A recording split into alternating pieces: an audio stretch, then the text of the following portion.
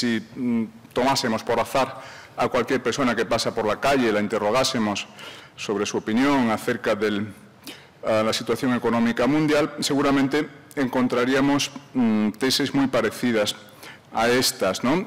tesis que podríamos mm, simplificar en dos.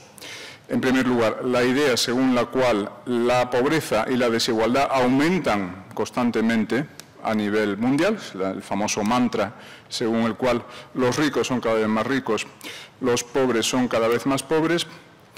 En segundo lugar, la indignación moral frente a este hecho, es decir, la, reflexión de que es, escandaloso, es indignante que Mm, existiendo recursos suficientes en todo el mundo para dotar de un nivel de vida adecuado a todos sus habitantes, haya todavía una gran parte de la población mundial que permanece en la pobreza. Es esto que se oye decir tantas veces, que mm, es, escandaloso, que, mm, bueno, poseyendo los medios tecnológicos para poner un hombre en la Luna, para mandar sondas espaciales fuera del sistema solar, etcétera, no hayamos conseguido todavía dar de comer a todos los miembros de la especie. Bien, entonces, em, think tanks como el, Centro Diego de Covarrubias o el Instituto Acton, hoy representados aquí por, su presidente y uno de sus miembros más, destacados, existen, diría yo, para demostrar la falsedad de, esas dos tesis que acabamos de exponer porque hay que decir que ambas son falsas. Em, quiero decir, es falsa la idea, es falsa la, tesis de que aumente constantemente la pobreza y aumente constantemente la, diferencia entre los países ricos y pobres, y es falsa también la idea según la cual mm, la pobreza se debe a una injusta distribución de los recursos, Em, el problema de la pobreza sería el problema de una injusta distribución, es decir, hay riqueza suficiente pero no está bien distribuida. No sería un problema de producción, sino un problema de distribución que encontraría una fácil solución mediante una redistribución de la riqueza a nivel mundial, quitarles recursos a los países ricos para bombearlos, por así decir, a los países pobres. Mm, no es cierto que aumente la pobreza y aumente, la desigualdad. Para comprobarlo basta mm, mirar las estadísticas de organismos como el Banco Mundial o el Fondo, Monetario Internacional. No voy a aburrirles con, datos, pero, por ejemplo, los informes más recientes del, Banco Mundial se constata que el, el, porcentaje de población mundial que vive con una renta inferior o unos ingresos diarios inferiores a 1,25 dólares era del 44%, el 44% de la población mundial hace 20 años vivía por debajo de ese umbral, eh, tenemos ingresos inferiores a 1,25 dólares diarios y en la actualidad, 20 años después, en 2010 concretamente, ese porcentaje había caído al 23%. En solo, en solo 20 años cayó, cayó 20 eh, puntos. Eh, también los ingresos de, diríamos, la mitad más pobre de la humanidad, el 50% más pobre eh, de la humanidad, han crecido un 80% en, dos décadas. Es decir, la, pobreza, la pobreza absoluta retrocede constantemente en el mundo a gran velocidad. Y, también se recorta la distancia, no es cierto que aumente la desigualdad, se recorta la distancia entre países ricos y países pobres. los países pobres crecen más rápido que los países ricos. Por ejemplo, de entre las 10 economías que más crecieron en la primera en la primera década del siglo XXI, entre 2000 y 2010, seis de ellas eran países africanos y las otras cuatro eran países asiáticos o hispanoamericanos. En cambio, entre los 30 países que menos crecieron, eh, en, la primera década del siglo XXI había casi 20 países europeos. Europa está estancada, Europa crece muy despacio y en cambio gran parte del, tercer mundo, del antiguamente llamado tercer mundo, crece a gran velocidad. Este es el fenómeno llamado convergencia, eh, que ha sido mm, muy eh, lúcidamente analizado y expuesto, por ejemplo, por un economista español que es Xavier Sala y Martín, que enseña en universidades norteamericanas. Pero también es incorrecta la idea según la cual la solución para la pobreza mundial estribaría simplemente en quitarles algo de riqueza a los países ricos para entregarla a los países mm, pobres. esta, esta, idea se corresponde con lo que se llama una, una visión de suma cero, el modelo de suma cero en la interpretación de la economía nacional o mundial. Suma cero significa que la ganancia de uno implica siempre la pérdida del otro. Es como si la, riqueza a repartir fuese una tarta con un tamaño fijo, de tal forma que si yo me llevo un trozo grande es a base de que otro se lleve un trozo pequeño y el, tamaño de mi trozo solo puede crecer a expensas de la porción que corresponde a, otros. Realmente la, la economía no funciona así ni en el nivel nacional ni en el nivel ni en el nivel eh, mundial, porque es posible la, creación de, riqueza. Esa visión de suma cero mm, conducía a, diríamos, la, idea de la ayuda al desarrollo, la ayuda exterior como solución para los, países pobres. Durante décadas ha prevalecido la idea, además lo recomendaban los organismos internacionales, de que los países ricos debían dedicar una parte de, su presupuesto a ayudas directas, a créditos a, países del, tercer eh, mundo, los que tenemos ya algunos años, recordamos, por ejemplo, la movilización que existió en la sociedad española en los años 90, cerca del 0,7%, el famoso 0,7%, es decir, presionando al Gobierno para que dedicase un 0,7% del presupuesto estatal a la ayuda exterior al mm, desarrollo. La tesis que subyacía a este énfasis en la ayuda al desarrollo era la tesis según la cual eh, el problema para el despegue económico de los países pobres era la carencia de acumulación de capital. No habían acumulado capital suficiente para las inversiones que requiere las fases iniciales de la industrialización y, por tanto, ese, capital solo podía mm, proceder del, exterior, pero del exterior en ayudas directas de gobierno a gobierno. Los países pobres supuestamente permanecerían atrapados en un supuesto eh, círculo vicioso de la pobreza. Bien, mm, hoy sabemos que estas ideas eran incorrectas, es decir, no es cierto que eh, los problemas de los países pobres se deban a una carencia de capital, se deben más bien a otros factores, factores tales como eh, las guerras tribales, las dictaduras, la corrupción, la inexistencia de seguridad jurídica, la inexistencia de un marco institucional, de un marco normativo favorecedor de la inversión y, el ahorro, um, la, inexistencia de un marco normativo que, digamos, haga atractivo el país para la inversión uh, extranjera. Eso está muy relacionado con el respeto al derecho de propiedad. Es decir, si la, propiedad privada no es adecuadamente respetada, los inversores extranjeros no se animarán a invertir en, esos países. Em, había un, economista británico, Peter Bauer, de, la Universidad de Cambridge, que ya en aquellos años, en la década de los 70, los 80, denunció los males de, la ayuda al desarrollo, es decir, hasta qué punto la, ayuda al desarrollo de gobierno a gobierno resultaba, resultaba contraproducente. Resultaba contraproducente por varias razones. En primer lugar, porque en el peor de los casos los fondos iban directamente, no llegaban a las poblaciones que lo necesitaban, sino que iban directamente a las cuentas corrientes de los cleptócratas de turno, de los dictadores de turno. Eso, digamos, en el peor de los casos, y en el mejor de los casos servían para subvencionar empresas, sectores productivos ineficientes, que eran mantenidos artificialmente con vida a través de las subvenciones. Y, en definitiva, esto inhibía el, crecimiento sano, es decir, el, crecimiento de, una industria, y, eh, una industria competitiva, capaz de, incorporarse al, mercado mundial. Creaba sectores económicos dependientes de la subvención y mantenidos artificialmente con vida a base de, subvenciones.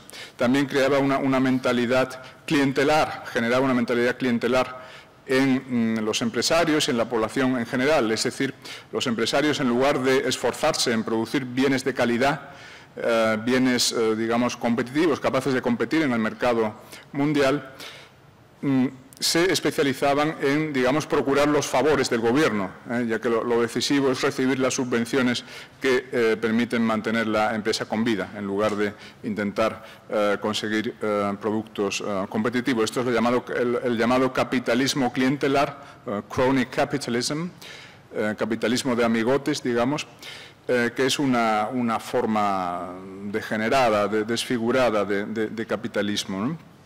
Sin embargo, la ayuda exterior tiende a, fomentar ese modelo. La prueba de esto es que los países del tercer mundo, los llamados dragones, que primero despegaron, primero consiguieron salir de la pobreza, fueron eh, países que, mm, diríamos, no recibieron una ayuda exterior significativa, sino que eh, diríamos, centraron sus esfuerzos en desarrollar una industria competitiva y una industria orientada a, las exportaciones al mercado global. Por ejemplo, mm, Corea del Sur o, Taiwán, ya después también algunos países hispanoamericanos como Chile, Perú, mm, etcétera.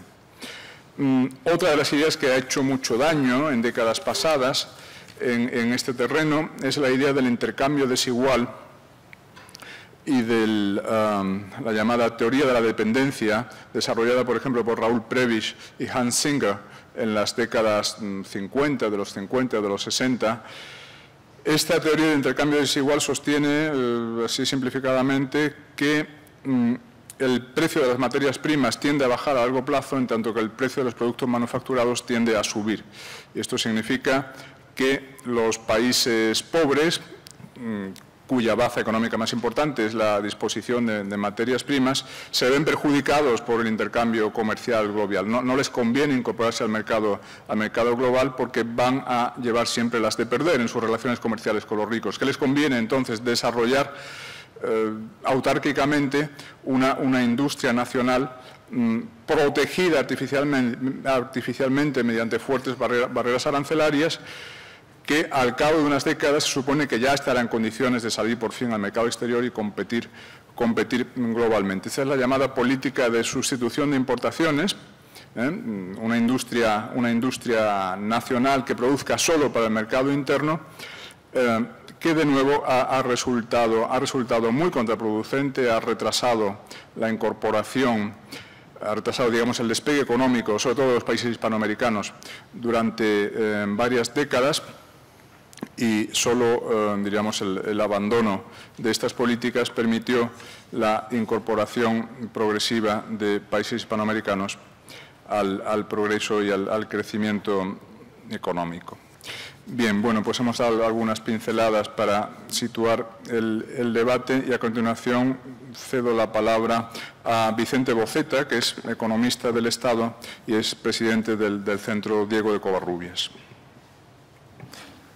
Bueno, pues muchas gracias en primer lugar al profesor Francisco Contreras, a la Facultad de Derecho y a la, Universidad de, Sevilla y a todos ustedes por la asistencia, yo por la asistencia a, esta, a este seminario.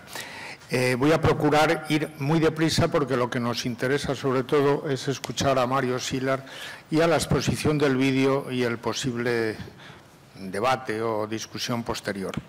Eh, por lo tanto, voy a, profesar, a, presentar un poco el quiénes somos, de dónde viene el Centro Covarrubias y a dónde vamos, el famoso quiénes somos, de dónde venimos y a dónde queremos ir. Eh, la verdad es que la idea nace desde el problema que viene desde la mediados del siglo XIX con la relación entre el magisterio católico y las ideas de que promovían la libertad política, unas ideas que se reflejaban en el enfrentamiento entre el racionalismo antirreligioso de la Revolución Francesa y las ideas de la libertad política y económica basadas en los derechos inalienables de la persona. Eh, a lo cual contribuyó mucho aquella postura del liberalismo en aquella época, que fue un liberalismo antirreligioso y antipropiedad, que pretendía de alguna forma controlar la educación y no respetar la propiedad privada. Eh, Lord Acton, un historiador, filósofo, eh, a finales del siglo XIX-XX, el que lo que dijo es que los avances de la sociedad libre deberían producirse en el marco de una ética cristiana. Y fue famoso, entre otras cosas, por aquella frase de que el poder corrompe, el poder absoluto y continuado corrompe absolutamente. Y la verdad es que a lo largo de la historia eso se ha demostrado que tiende a ser desgraciadamente verdad. Eh, posteriormente, ya con el Concilio Vaticano II, la Iglesia Católica dio un giro en lo que a la libertad política se refiere y llegó a admitir la libertad política, en contra de los planteamientos anteriores de Pío XI, favoreciendo el corporativismo, con lo cual fue un giro. Y de hecho después fue mm, eh, Juan Pablo II el que en la Centésimos Annus, una encíclica, de nuevo abrió la puerta a la economía de mercado uniéndose a la primera encíclica de León XIII, donde en aquella encíclica de León XIII, en contra de lo que cree la gente, se defendía fundamentalmente esa economía de mercado a la que había que de alguna forma corregir, disciplinar, etcétera. Lo que pasa es que la evolución posterior, sobre todo con Pío XI, pues fue muy totalmente opuesta. Las raíces de esta economía libre mercado no se encuentran en Adam Smith, sino que se encuentran en España en los teólogos morales de la Escuela de Salamanca del siglo XVI, que fue un cuerpo de doctores que hablaban eh, de derecho natural, derechos humanos, derecho internacional, teoría monetaria, teoría de los precios, y precisamente una de sus figuras, el arzobispo de Segovia y de Ciudad Rodrigo, Diego de Covarrubias, que es el que da nombre a nuestra institución, y que fue un declarado antiesclavista y defensor, o digamos uno de los primeros fundadores de la teoría subjetiva de los precios como libre acuerdo entre compradores y, entre compradores y vendedores debido a la mayor escasez o abundancia de los bienes. Pues bien, con estos antecedentes, ¿quiénes somos? Pues hace unos años una serie de personas decidimos crear un centro de pensamiento sobre economía, religión y libertad formado por personas independientes, entre los cuales también curiosamente tenemos varios agnósticos, pero que defienden y apoyan estas ideas para exponer y comunicar las ideas del liberalismo económico y su total compatibilidad con el cristianismo. Con este planteamiento del quiénes somos, nuestro objetivo es desarrollar una sociedad formada por personas libres en una economía libre, en una sociedad libre, en el marco de la ley y de los principios morales, éticos y culturales del cristianismo. ¿Con qué principios? Pues con un sistema que llamamos de tres pilares que desarrolló Michael Novak, fue un americano en el, siglo pasado. Para mí el problema es que cuando hablo del siglo pasado tiendo a pensar en 1800 y, bueno, y fue recientemente. El primer pilar es un sistema de libre mercado y de libre empresa que esté basado en unos derechos de propiedad bien definidos y bien defendidos con la libertad de precios y beneficios y la libertad de iniciativa de los individuos siempre en el marco de la ley. Y curiosamente una gran definición de este sistema la dio el propio Juan Pablo II hablando de que es un sistema económico planteó dos alternativas. Una alternativa era esta, un sistema económico que reconoce, cito, el papel fundamental y positivo de la empresa, del mercado, de la propiedad privada y de la consiguiente responsabilidad para con los medios de producción y de la libre creatividad humana en el sector de la economía. Evidentemente, el Estado en este marco siempre tiene un papel, como es el garantizar las reglas del juego, el cumplimiento de la ley y los contratos establecidos y, en el Centro Covarrubias, el la defensa de una red básica de seguridad social para los que en algún momento lo necesiten. El segundo pilar es un sistema político democrático que se base en la separación de poderes, en la igualdad de todos ante la ley y no mediante la ley, el respeto a los derechos constitucionales de las minorías y las garantías del derecho a la vida y a la libertad de expresión, de educación, de religión, de movimientos, etc. Y un tercer pilar, un sistema moral y cultural pluralista basado en los principios culturales y éticos de la civilización judío-cristiana y greco-romana, el derecho, la filosofía. En ausencia de estos valores se puede llevar fácilmente a un totalitarismo encubierto y a la corrupción tanto del sistema político como del sistema económico, como desgraciadamente estamos acostumbrados a ver. Pues bien, ¿cómo hacemos esta defensa o cómo tratamos de hacerla? Publicando libros, artículos, ensayos, convocando un premio y organizando ciclos de conferencias. El profesor Contreras se ha referido al tema de la desigualdad de pobreza. En Madrid estamos desarrollando un ciclo de seis conferencias precisamente sobre el tema de la desigualdad y la pobreza. Eh, y también mantenemos muy activa una red, una, una página web, quiero decir, una red que es www.centrocovarrubias.org y apoyamos y defendemos iniciativas como la que precisamente hoy se presenta aquí, la iniciativa Poverty Cure, que nace en Estados Unidos, pero que da un enfoque radicalmente novedoso sobre la lucha contra la pobreza, contra la que es obligatorio luchar, pero desde el punto de vista de creación de riqueza y no de ayuda o no de reparto, sino poniendo el énfasis en cómo se crea la riqueza. Y ya con esto espero no haber sido, bueno, no haberme excedido demasiado y paso la palabra a Mario Silar, profesor de, de Deusto y en Pamplona, eh, licenciado doctor en filosofía. Muchas Bueno, eh, muchas gracias. Eh, me toca explicar un poco qué es Poverty Cure. Em, básicamente, como adelantó don Vicente, es un, intento de llevar al ámbito divulgativo lo que hay detrás de la teoría del pensamiento del liberalismo clásico sobre cuáles son las mejores herramientas para no simplemente combatir la pobreza, que es el típico enfoque tal vez un poco negativo, sino crear riqueza. ¿no? Y en la medida en que se crea riqueza, se mejora la calidad de vida de las personas y en la medida en que se mejora la calidad de vida de las personas, se potencia la capacidad de esas personas de poder decidir libremente, con las consecuencias que eso tiene para bien y para mal, y particularmente desde el Acton Institute, eh, la convicción que hay también es cristiana, interreligiosa, saben que en Estados Unidos el cristianismo no es catolicismo, sino eh, episcopalianos, evangélicos, católicos y demás. Los que tienen en común este think tank plural en ese sentido, interreligioso en Estados Unidos, es que los principios de una economía de libre mercado con un marco institucional sólido, con unas reglas de juego claras, con unas bases morales fundantes fundamentales, es perfectamente compatible o no es contradictorio al menos con los principios básicos del pensamiento cristiano.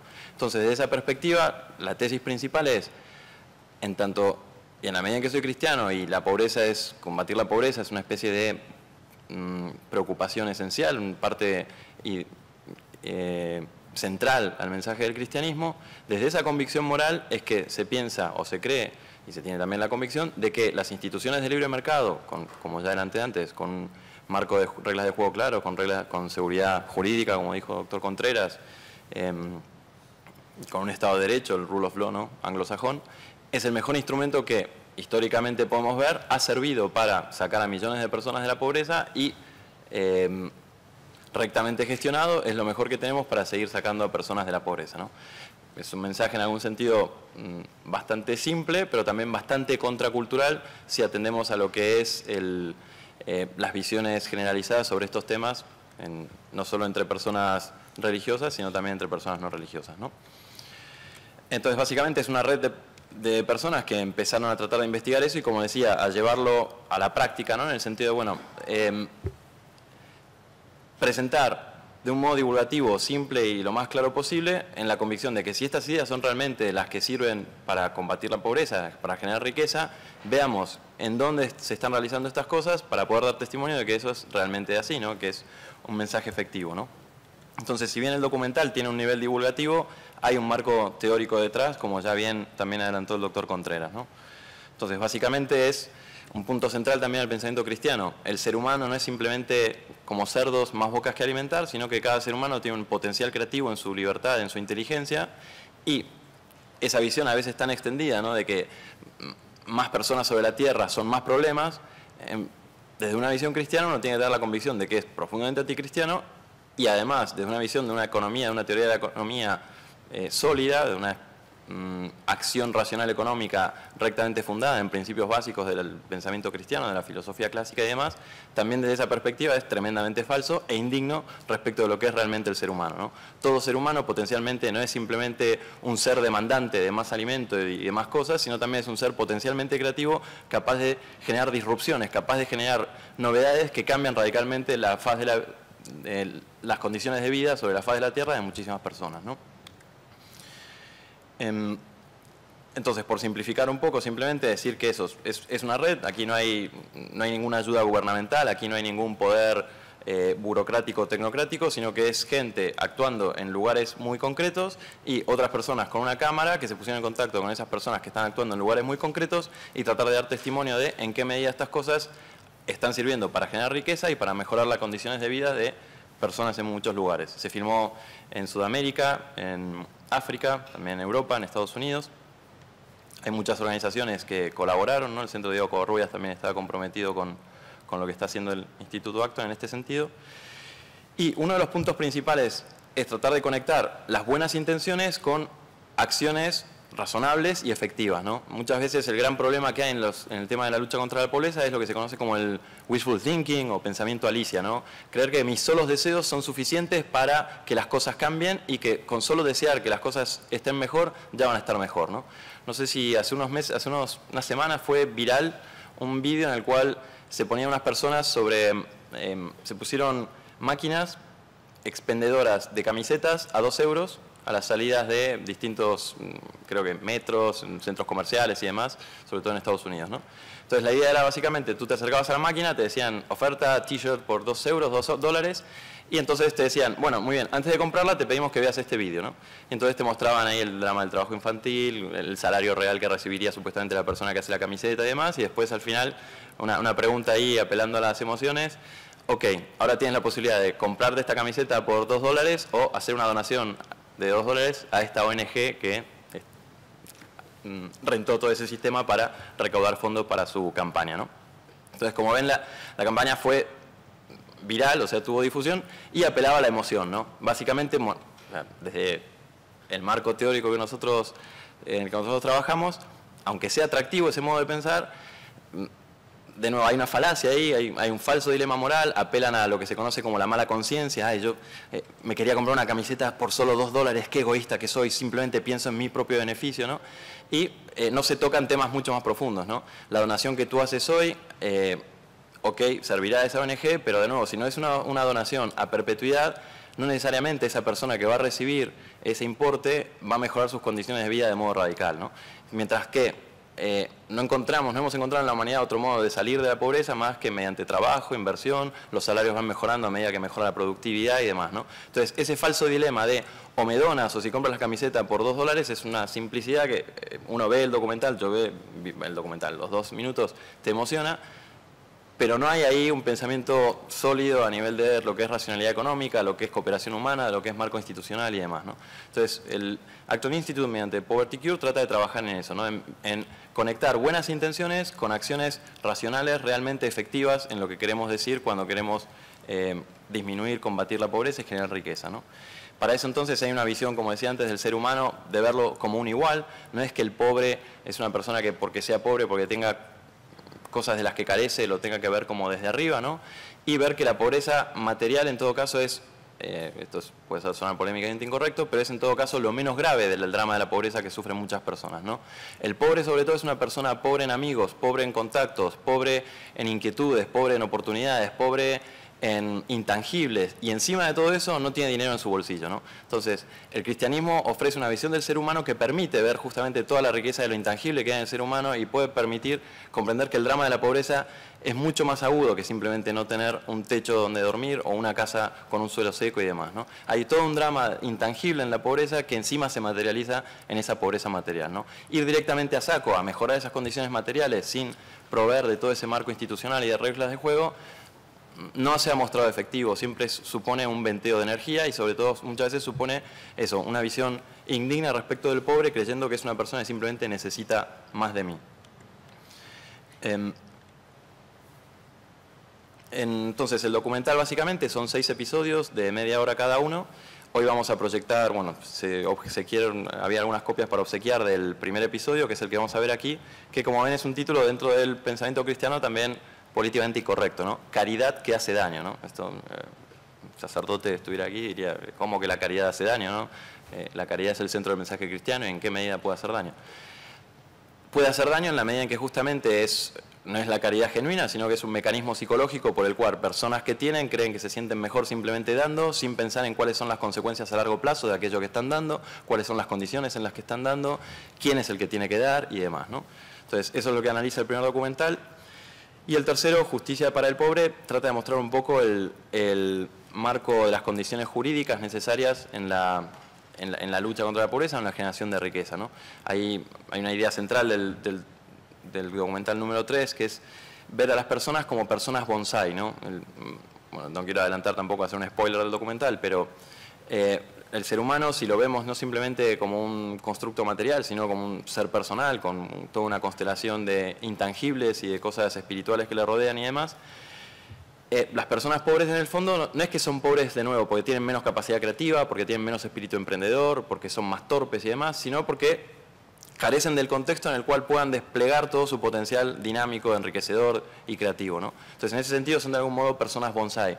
La diferencia entre un bonsai y un árbol de 8 metros, 6 metros que esté en el bosque, no está esencialmente en el árbol, sino en las condiciones en las cuales es plantado. ¿no? El arte del bonsai es el arte de meterlo ahí en una pequeña maceta y constantemente ir cortando las raíces con mucha táctica y estrategia y finura para mantener lo que podría ser un roble de grandes dimensiones ahí en, en mi escritorio. ¿no? Entonces, de algún modo, el drama de la pobreza es el drama de personas bonsai, personas que en las reglas de juego, en el marco de esa interacción entre las instituciones económicas, políticas, jurídicas, culturales, sociales, religiosas, eh, no se despliega de tal modo que permita la libertad y la creatividad de todas las personas en cada una de sus situaciones. ¿no?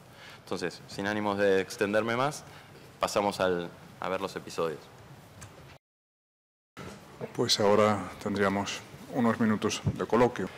Eh, bien, ¿alguna pregunta, alguna opinión? Bueno, no sé qué pensáis vosotros. Yo creo que si la gente es prisionera de prejuicios tan irracionales, pues eh, es su problema. Eh, yo creo que la, el tipo de mensaje que, que, dirige Poverty Cure, que dirige el Centro Diego de Covarrubias o el Instituto Acton, va dirigido a los creyentes religiosos, especialmente a los católicos, que históricamente más bien han sido reacios a la idea del libre mercado, del libre cambio, etcétera, porque toda una tradición de pensamiento católico. Vicente Boceta se refería antes a los inicios prometedores en el siglo XVI en la Escuela de Salamanca, eh, de eh, teólogos mm, católicos con un análisis bastante fino de algunas intuiciones muy acertadas sobre el funcionamiento de la, de la economía de mercado pero esos inicios prometedores después pues quedaron quedaron sin continuación, ¿no? sobre todo en el siglo XX, con algunas encíclicas, eh, doctrina social de la Iglesia, en conjunto no ha sido muy favorable al, libre mercado, lo ha mirado con, desconfianza como algo que, que, favorece, favorece a los más fuertes, a los ricos y, y no favorece a, a los pobres.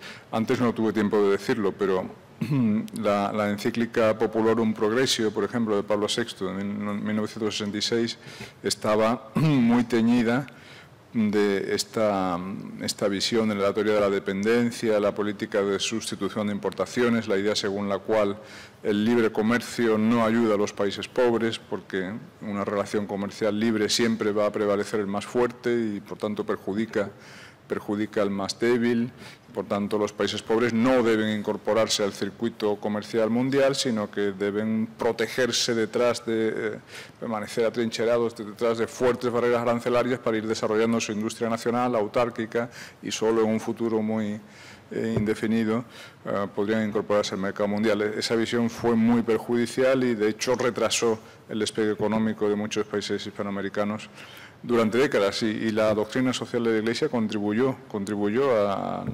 enraizamiento de esa, de esa visión, a nuestro entender, incorrecta. Por eso es tan importante la, labor que hacen mm, organismos como estos para, mm, mm, explicar las virtudes del libre mercado a, los católicos. No sé qué, qué pensáis vosotros. La realidad es que en las iglesias católicas y protestantes se han mostrado desde la encíclica, insisto, de León XIII, a finales del siglo, del siglo pasado, del anterior, se ha mostrado en contra del libre mercado. Es decir, después de que se plantea lo de León XXIII, va habiendo una, una elaboración basándose en una, y voy a decir a lo mejor dos barbaridades, en una errónea visión o lectura de la llamado los signos de los tiempos. Las jerarquías han estado viendo los signos de los tiempos como aquello que es mayoritario es el signo de los tiempos y debemos apoyarlos. Y entonces nos vimos como, insisto, Pío XI apoyó el, corporativismo fascista, punto. ¿Por qué? Porque eran los signos de los tiempos según los veían ellos.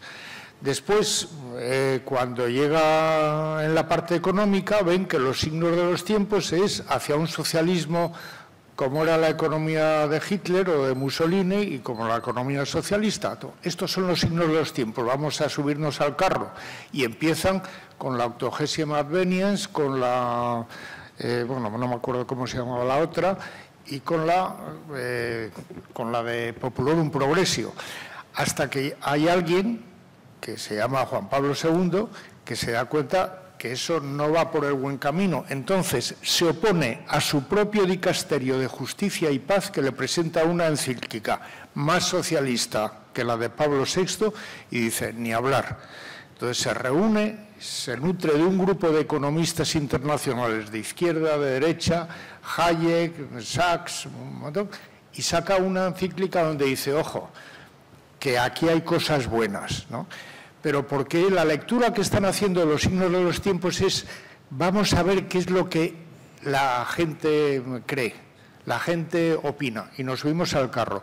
Pero el verdadero signo de los tiempos es que desde la revolución industrial hacia aquí, la economía del libre mercado es la que ha sacado de la pobreza a millones y millones de personas y que cuando en algunos países, China, India, se inician aperturas económicas de orden liberal, se reduce la pobreza, se crea riqueza, etcétera.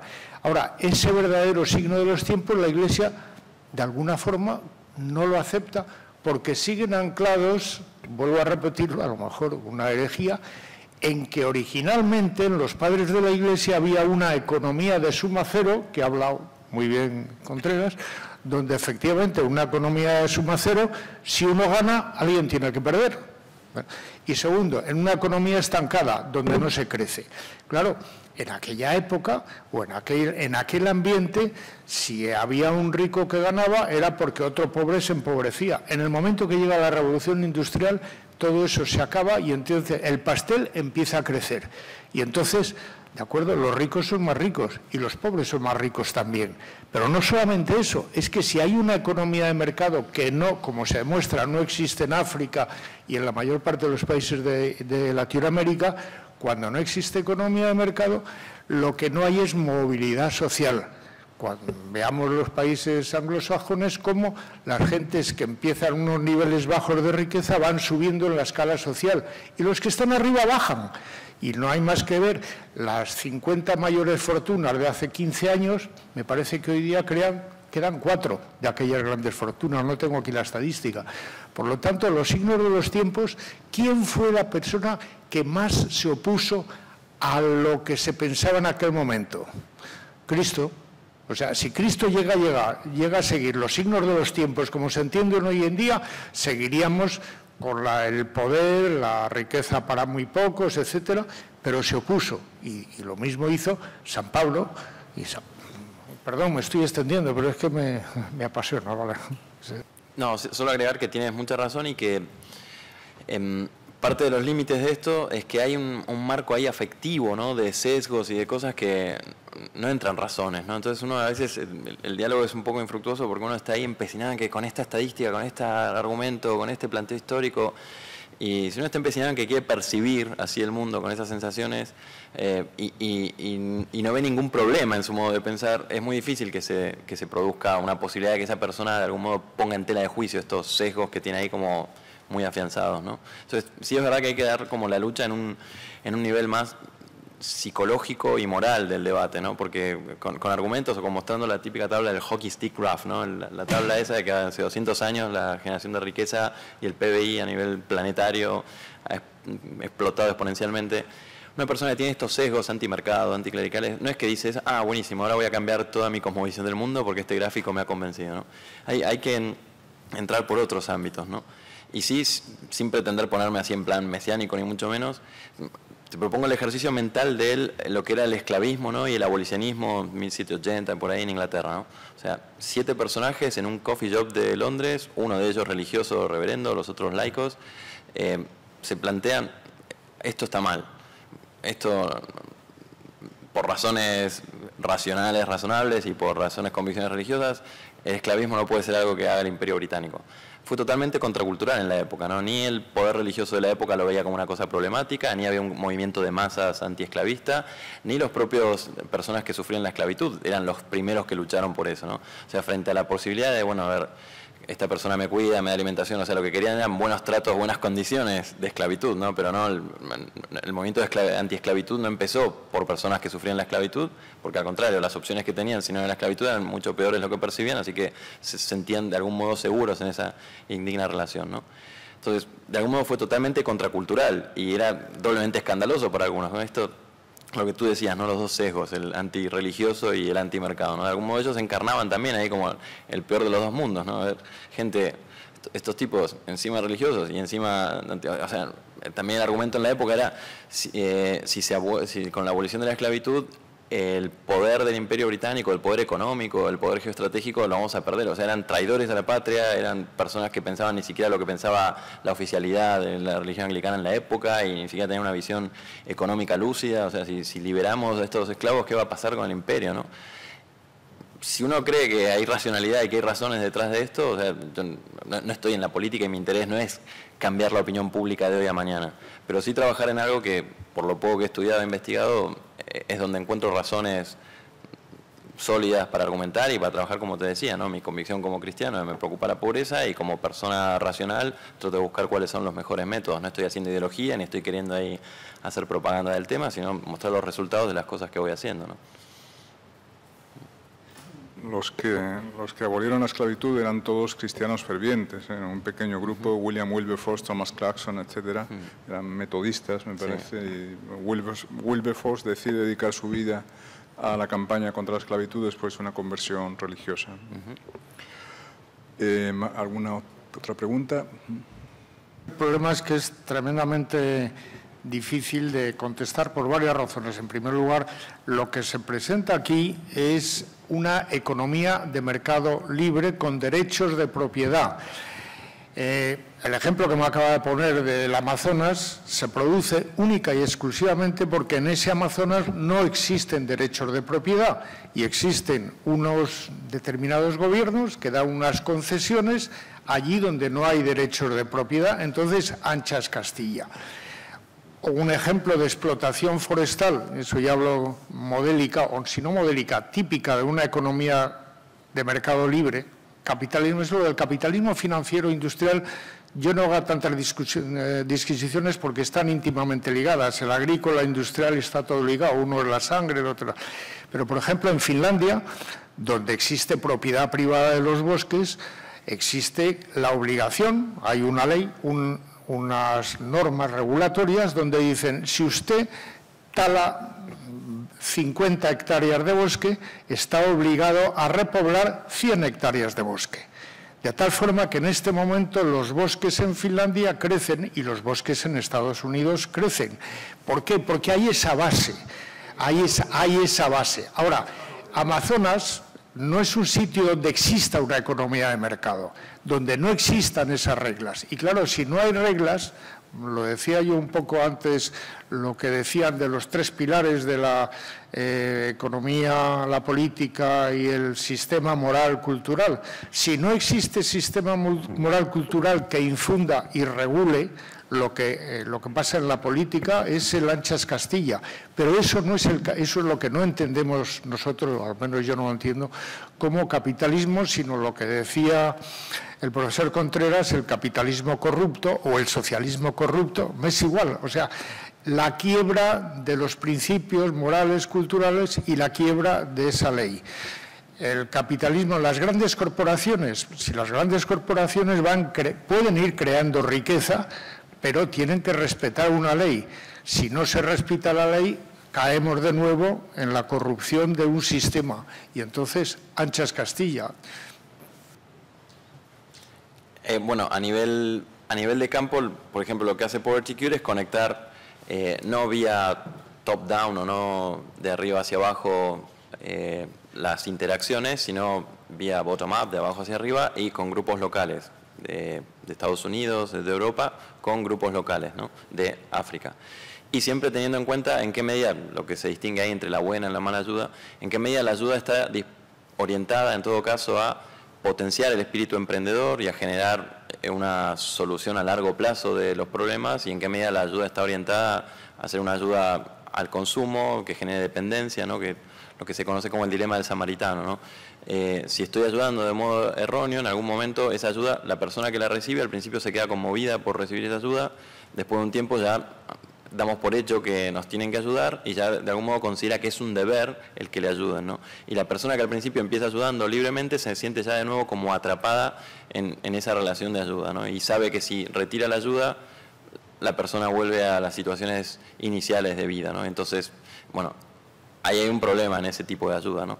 Entonces lo que hace Poverty Cure es tratar de conectar a personas que tratan de buscar soluciones empresariales, emprendedoras, autosustentables en ese sentido, eh, a los distintos problemas en distintas comunidades y a nivel micro, o sea, sin, sin necesidad de, valorando lo que se conoce como el conocimiento contextual, ¿no? Eh, tratar de ver las personas de ahí, qué es lo que saben, qué es lo que quieren hacer, eh, dejarse enseñar por ellas en ese sentido, ¿no? Es decir, bueno, yo pongo una parte del capital, pero a ver qué es lo que tú pones de la otra parte y demás, o sea, fomentar también las ayudas tipo partnership o asociaciones, ¿no? No una ayuda simplemente donde la otra persona es mero receptor pasivo y yo soy el, el que hago todo, ¿no? Y también teniendo en cuenta que... Em, eso, hay un conocimiento contextual de las personas que están ahí que uno desde aquí no puede tener, ¿no? Y que tampoco puede tener uno desde aquí yendo allí, ¿no? Entonces, la clave es generar condiciones para que esas personas de algún modo tengan un interés por progresar, un interés por tratar de salir adelante, una autoconfianza en ellos para ver que sus soluciones pueden tener valor, ¿no? Entonces, el trabajo es mucho más árido, sutil e incómodo en el sentido que es verdad, es mucho más fácil decir, bueno, aparto parte de mis ingresos y lo dono ahí y veo qué pasa, ¿no? Y otra cosa es meterse como una especie de búsqueda un poco más de, tiempo, que sabes es lo que menos tenemos para ver cómo ayudar y en qué medida, ¿no?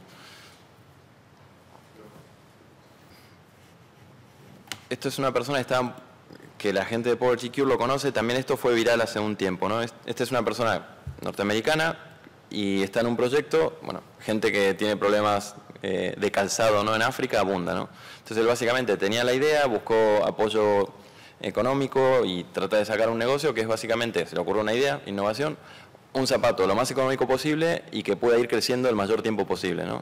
Kids' feet grow quickly. As a result, kids living in poverty around the world often outgrow shoes and are left with no option but to go barefoot or wear shoes that don't fit. The shoe that grows is an advance in footwear that allows a child to always have a pair of shoes that fit. We know the importance for children in developing countries to have proper footwear, and we know the shoe that grows is the solution to this problem. But how does it work? The shoe can grow in three main places. First, the front can grow with the adjustable toe piece. Second, the sides have snaps that allow it to expand. And finally, the back rows using the expandable heel strap. Using these three expansion methods, the shoe can grow five sizes, ensuring kids can always have a pair of shoes that fit, protecting their feet from the dangers of contaminated soils and diseases. In addition to five sizes of growth, the shoe will last five years. High quality materials enable this long lifespan. The sole is made of compressed rubber, while the upper is made using high quality leather and heavy duty snaps children around the world can have a better shoe, a shoe that will always fit, a shoe that keeps going and growing. The shoe that grows is an incredible tool in the fight to keep children healthy and happy, giving them more opportunity to have success in their lives. Join us in our mission of practical compassion. To find out how, visit theshoethatgrows.org. Básicamente, ¿no? ideas que tengan una parte así emprendedora, a una persona se le ocurrió esta idea, necesita el capital para desarrollarla, es algo que mejora la calidad de vida en el sentido, bueno, básicamente es un zapato que crece hasta cinco tallas, con lo cual la persona, los chicos lo pueden usar durante cinco años, material resistente y demás, ¿no? O sea, esto es mucho más autosustentable y generador de riquezas y oportunidades que simplemente estar enviando zapatos viejos durante cinco años a África, ¿no? Entonces, es esa más o menos la, la tónica.